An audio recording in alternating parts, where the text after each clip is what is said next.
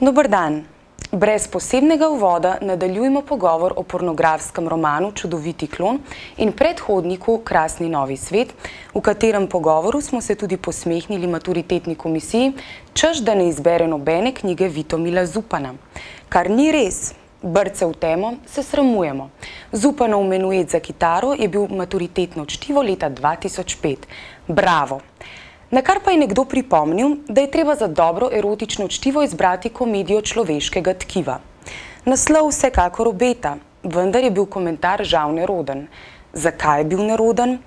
In ali je Zupanovo dokončno erotično berilo igra s hudičevim repom? O tem bi radi zdaj dorekli par besed. Živela naša borba! Živela! V tej vojni se bo začel nov življenje. Družba se bo prerodila. Prvič v zgodovini bo naš mali človek vzel usodo v svoje roke. Ti verjameš to, kar govoriš? Ja, rojeva se nov človek v krčih in bolečinah. Nikjer ga še ne vidim tega novega človeka. Sicer se pa nobena velika stvar ne zgodi čez noč. Vse se dolgo pripravlja, dozoreva. Revolucija je kvalitetni preskok. To ni evolucija. Menuet za kitaro je najprej vojna knjiga.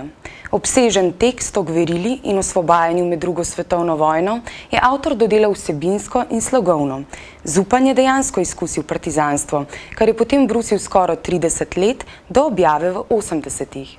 Menuet je verjetno naš glavni partizanski roman, ker Zupan poleg kritičnega popisa vojskovanja razprede še močno nito življenju, vesolju in sploh vsem. Imel sem za sabo šolsko vzgojo, skautsko, športno, sokolsko, vojaško, mornariško. In vendar sem se zavedal, da sem navaden civilist brez prave samodiscipline. Svojim občutkom in svoji domišljiji sem venomer dovoljeval široke in globoke polete. Vse sem skušal gledati hkrati, od zelo blizu in od zelo daleč, vsaki stvari uganjevati vzrok in predvidevati posledice. Ali je to vojak? Ne, Zupan ni bil navaden vojak. On je bil radoživ učenjak. Bil je vitalist in spolni manjak, ki ga je v ustvarjanje gnala spolna sla. In ko mu je ugasnila ta, mu je ugasnila tudi volja do pisanja, na kar je umrl.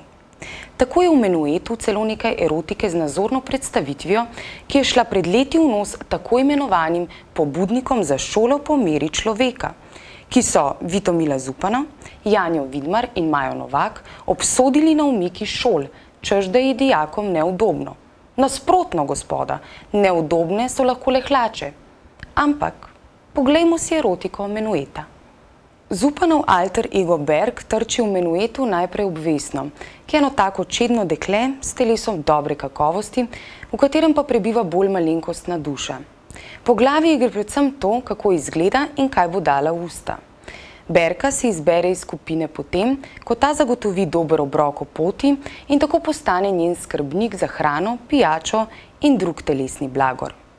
Po enem uspešnem večeru in po dobri večeri naredi Vesna tako, da se znajdeta sama na krušni peči, kjer si jo Berk vzame in v tisti noči si jo vzame trikrat – Zupan pa pri tem nakaže, kako se streže mehko trdi erotiki v lepi besedi.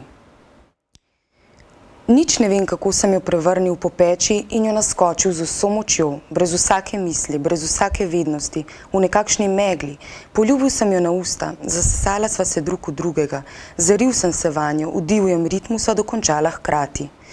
Ostal sem na njej, samo glavo sem položil na njene lase, ona pa mi je šepetala v uho, a najbrž precej glasno. Ali pa se je tako zdelo samo meni. Dobila je hripav, nižji glas, podrgetavala je pod menoj in čutil sem na udu krče njene nožnice.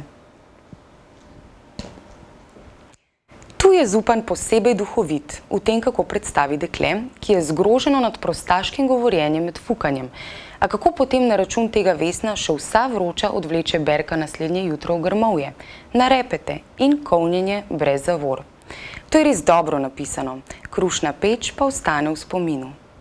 Še boljša, še bolj pomenljiva dogodivščina je v nadaljevanju, ko trudnega partizana Berka spreme nek kmet v svojo hišo, njegova hči in domobranska gospodična pa se strašno ujezi, naj se pobere.